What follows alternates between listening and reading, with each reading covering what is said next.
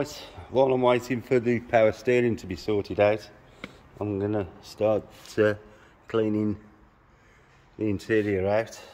And with the seat out this side, I can make a good start. I think I'm going to remove the rear seats. Um, I'm going to have a look, see if I need to, but I'm feeling that they're probably going to have to come out. Have a good clean. But uh, you can see.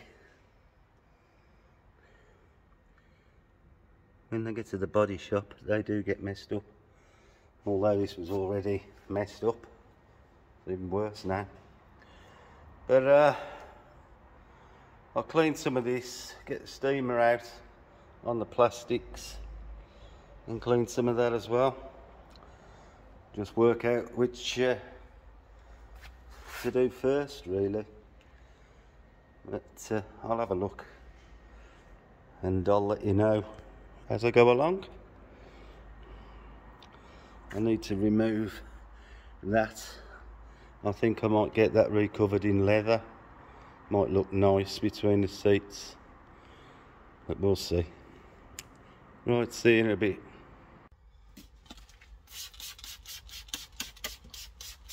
Using G101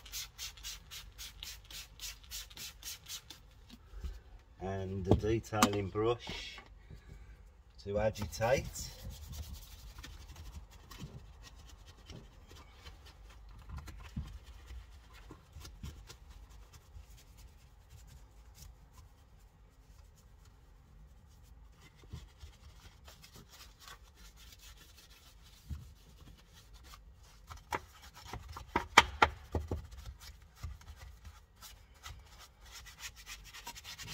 There's a lot of uh, spilt coffee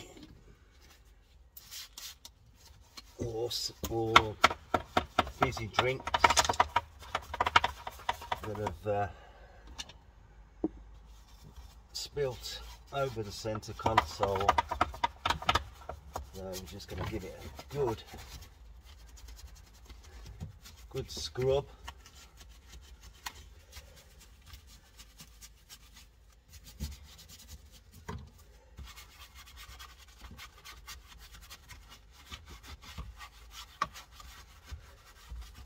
a lot of stains that have run down the side as you've probably seen from the first part of the video.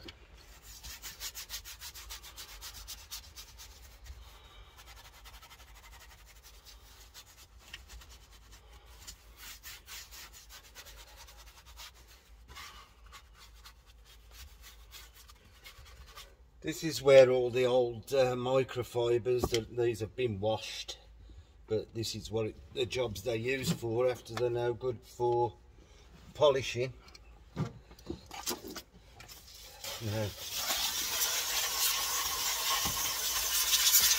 let the steam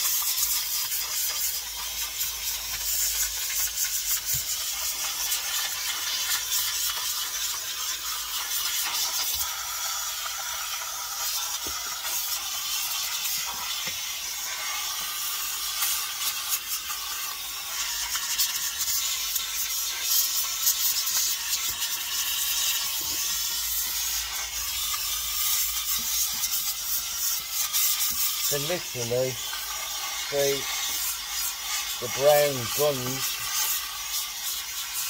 just running out of the, the panel now. You probably can't see from the camera.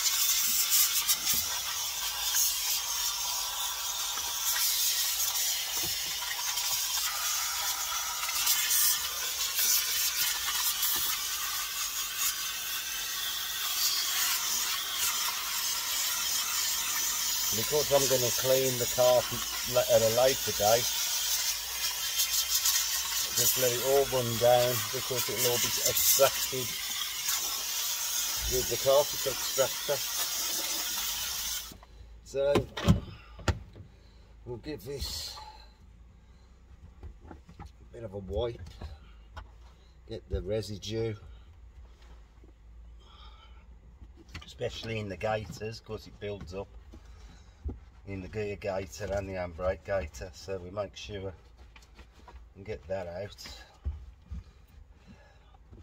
I'll get the airline in here shortly and make sure it's all blown out.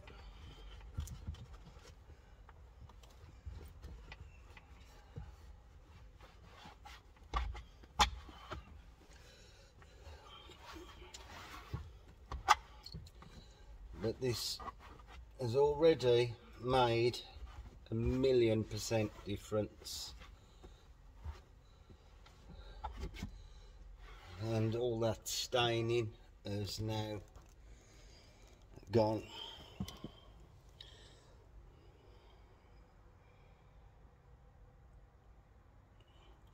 Now I'll get the airline out and blow out the uh, debris that's in the cup holders. And um, the rest of the damp that's in the gaiters. But that's just uh, really just showing you the beauty of using a steamer. It's quick effective and uh, at least you know it's sanitized as well by the time we're finished. Right then I'm going to move on blow this out. Just check make sure that it is clean looks clean. But uh, I've still got the centre part of the dash to do and the other side of the car. Really I'm waiting till the seat's out the other side to do the opposite bits. I'll be moving on to the carpet area um, shortly. So uh, and you can see the seats are in a bad way as well. So I'm going to clean them next. As soon as I'm over this side and then decide whether I need to take them out to do it.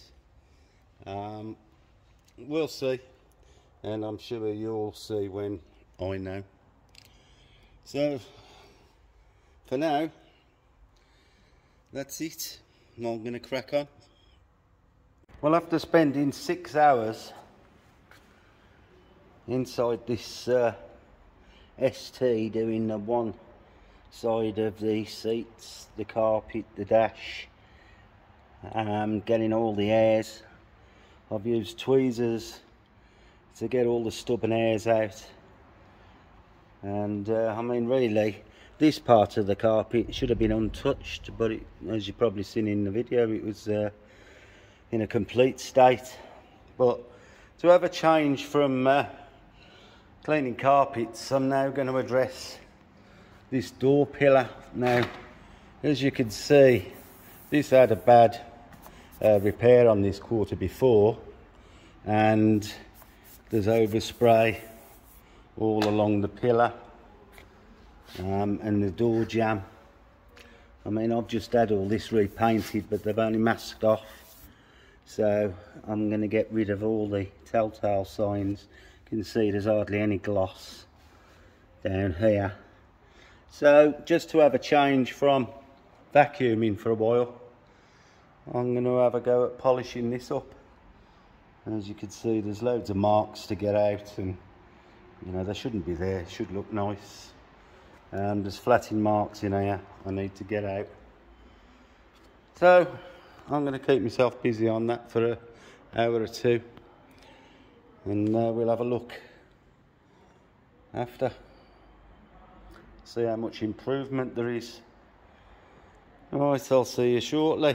Just thought I'd show you what I'm going to use to do the, uh, the door jamb. And I'm using the Nano Polisher Carbon Collective uh, microfiber pad. This is uh, an orbital, not a rotary.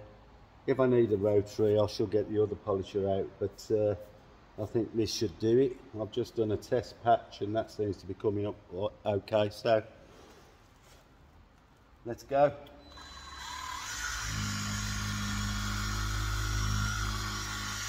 You probably see I've covered the carpet with uh, polythene after I've uh, spent all that time cleaning it. So I've just uh, put some protection down so I don't have to do it all again especially with the paste flicking around this, this section of the door. Right, now I've spread the paste around, we're just going to slowly let the machine do its job. I'm not trying to force it in any way.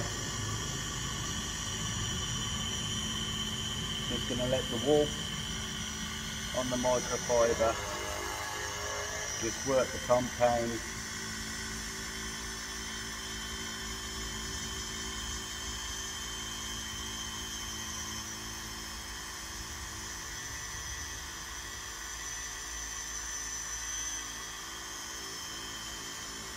just happens that uh, this pad is slim enough that it's going behind the rubber without removing it. So it's quite handy.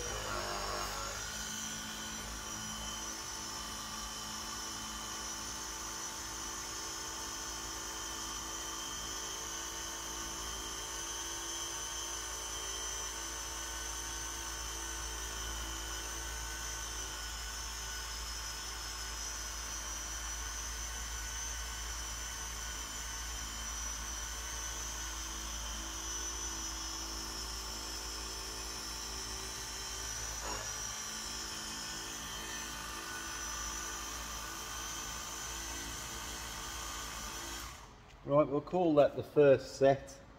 I probably would have worked it a little bit longer, but we'll have a look. And uh, I don't know if you could see that, but it's made a lot of uh, difference. So what I shall do now is I'll do another set or two, work my way down. I mean, you can actually you can hear the overspray on the panel whereas you can't there so we'll get rid of all that. Make it nice and shiny. Um, so you shouldn't be able to tell that it's ever been painted. Um, this part will take a little bit more work because of the uh, let me just lower this. Because there's flatting marks along this part of the door jamb just here.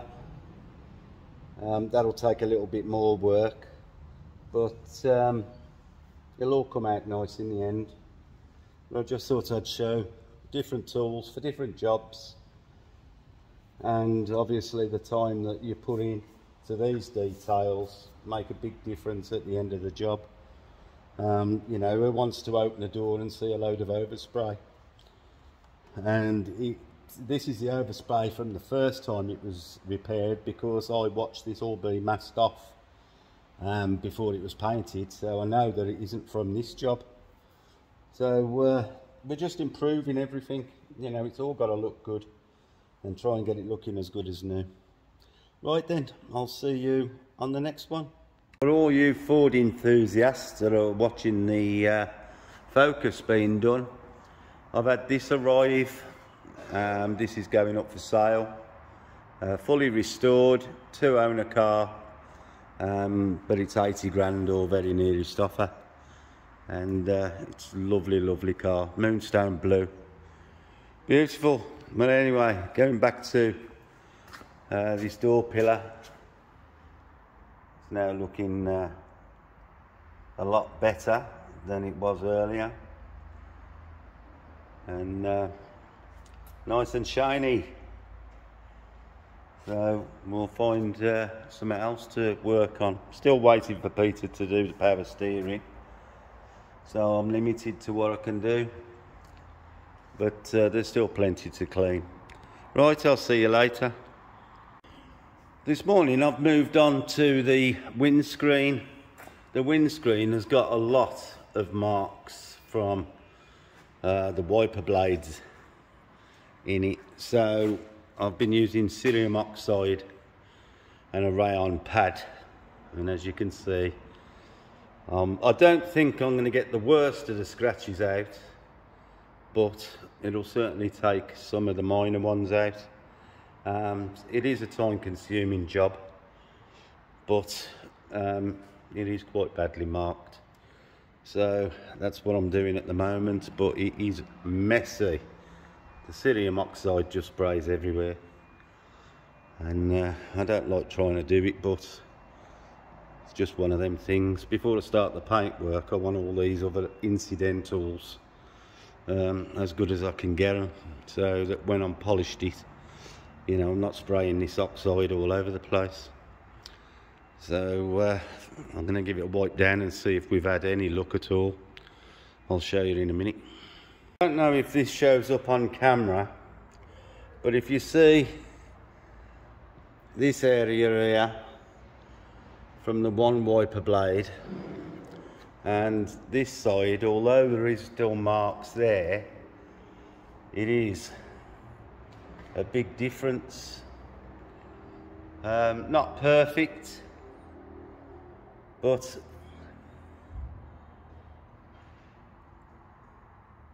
can see it has made a lot of difference to this side of the uh, glass. So I'm just going to continue getting out what I can. And at least we'll have made it uh, better than it was. Uh, can't get them all out like I said. But uh, I'm going to continue over the glass see what I can get out. But uh, quite pleased with this side. It's uh, actually looks better than I thought it would.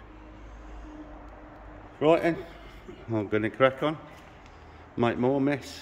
See in a bit. Right, so I've finished doing what I'm going to do to the windscreen. Looks a lot better, but it's not perfect. I've come to start cleaning the uh, rear of the car and when you open the tailgate, you you met with this,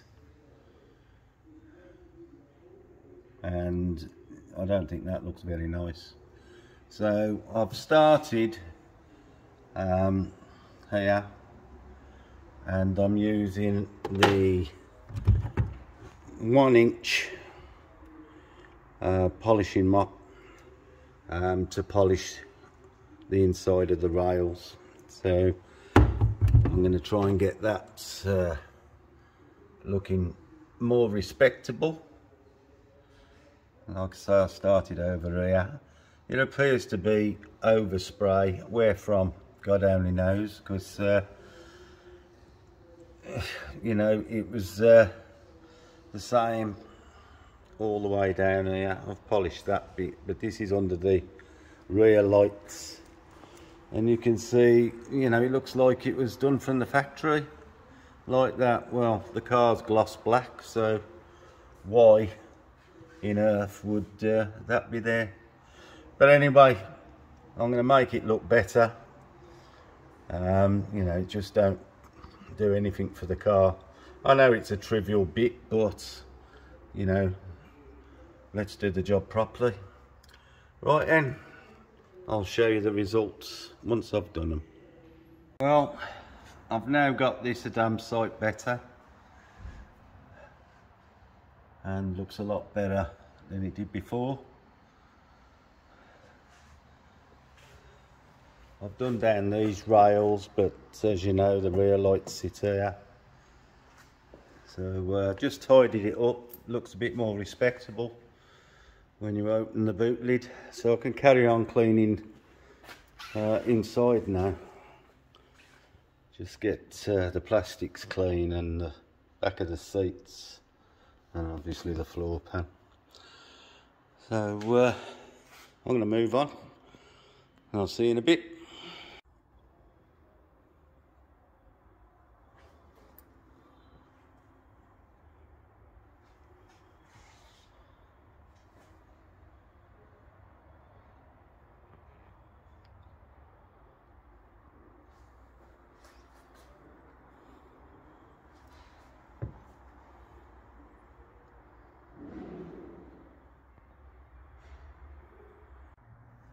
Well, I think it's been quite successful today. There we are. All the inside nice and clean.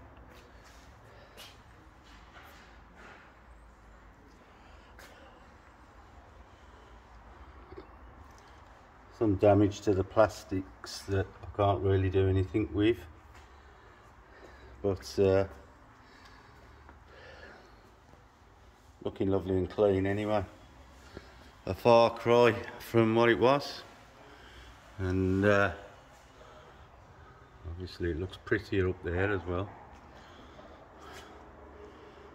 Right then. Thanks for watching. And those of you that haven't subscribed could you doesn't cost anything but it does me the world of good trying to get to a thousand subscribers and uh, I've just uh, 800,000 views and still haven't got 500 subscribers so I'd like to uh, exceed that if I could. Thank you very much. Right see you soon. Right with the rear compartment now clean and finished you can see the wiper blade has left a mark all the way across the rear windscreen. So I'm going to try and polish some of it out. Um, like the front, I won't be able to get it all out, but hopefully I'll be able to get rid of this halo. So I'm going to have a go at that now. And then I'm going to think about what I'm going to do with the driver's side interior, which hasn't been touched. Still waiting for the lever man to turn up. Um, I don't know if he don't want to do it or not. He keeps saying he's coming and ain't arrived, so we'll see. Right then, I'll get on with this. Well, I've spent the last four hours um, polishing this glass. As you can see, I've managed to remove 99% the scratches. Um, there's some really deep ones down in this area but as you can see they're not showing up. Um, all the halo has gone and it looks much better than it did earlier. Uh, it's been a lot of work. The rotary is on fire um, but it's done the job probably cheaper to put a windscreen in it but there you go so that's another job off the list and I can move on to something else now. Probably um, going to repolish the roof while it's still sitting here and go and remind Peter that he's got power steering to look at but uh, they haven't come to collect it yet. So I'll just crack on. I don't want to do too much and then have mechanics mauling all over the car. So uh, I'm just going to do the jobs I can do while it's standing here. Right then, that's another one ticked off the list. Right, see you later. Well, I'm now looking at the roof. Although it looks nice, you can see that it has sunk. You see them cloudy bits. That's where it's been polished while it was still curing. And basically it's now sunk. And it's been done long enough now. There's patches all over for me to uh, repolish it. So I know this was flatted before they polished it so I'll just need to polish over it again which is uh, what I'm about to do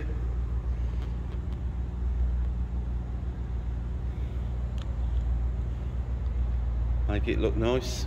And when it comes back from having its power steering it can go on the ramp and I won't have to worry about reaching over to uh, reach for the polisher. Well after recolouring the seat this morning and uh, touching them in I'm now using Furniture Clinic leather protection cream and coating the seats and I can actually see the leather sucking the cream in. So I'm going to give it a couple of coats obviously dried out a little bit and especially with the steaming and that. So we're going to give it some nourishment back. So I'm just going to do the backs of the seats seat or seat now um, But I thought I'd show you how the leather is sucking it in.